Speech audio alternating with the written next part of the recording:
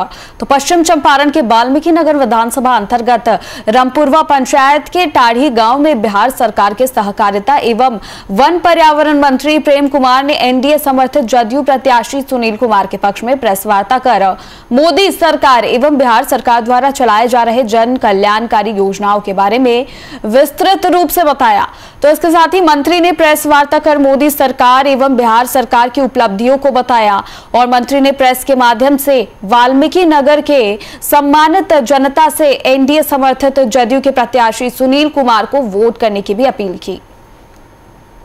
आटे का रेट है, सौ रुपये किलो ज़्यादा हो गया है, प्याज का रेट बढ़ गया है, आलू का दाम बढ़ गया है। तो वही भारत में नरेंद्र मोदी का जो अर्थव्यवस्था है, आज हर व्यक्ति खुशहाल दिख रहा है।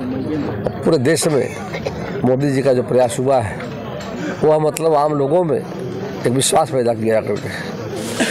गरीब आदमी कैंसर बीमारी हो गया, किडनी का समस्या, लीवर की समस्या होती थी, असाध रोग होते थे। पैसे का हम इलाज लोग नहीं करा पाते थे। हम लोग बातें आते थे कि मुख्यमंत्री चिकित्सा को अनुशंसा कर दीजिए। सरकार ने व्यवस्था की थी। तो पर्याप्त नहीं था। न पढ़ा तो था मतलब। दैट समथिंग बेटर नथिंग जब कुछ न था। उसको हम लिखते थे हम लोग।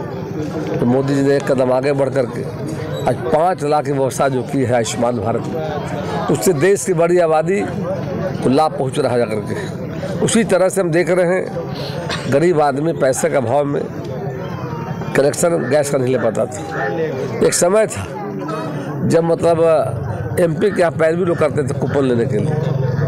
अब गैस का कूपन मिल जाया करके एमपी लोग को मिलता था। और आज मोदी जी ने घर घर पीएम उज्ज्वला योजना के माध्यम से। जो महिलाएँ थी हमारी, आज की आबादी आबादी है। समय से पहले